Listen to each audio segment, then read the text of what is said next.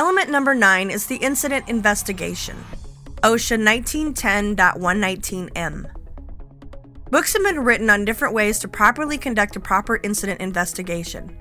For the purpose of this training, we will keep it simple and focused only on the minimum requirement as set forth by the PSM RMP regulations.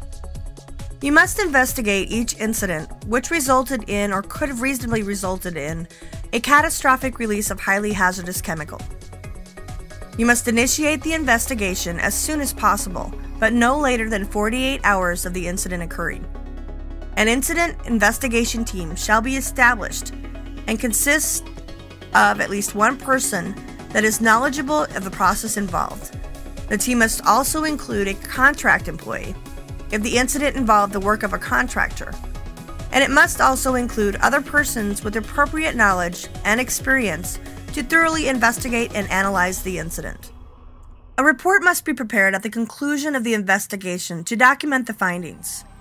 The report must include the following at a minimum date of the incident, date the investigation began, a description of the incident, factors contributing to the incident, and any recommendations resulting from the investigation.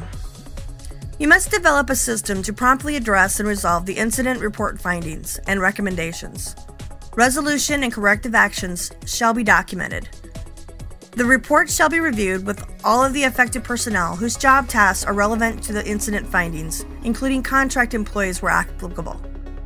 Incident investigation reports shall be retained for five years.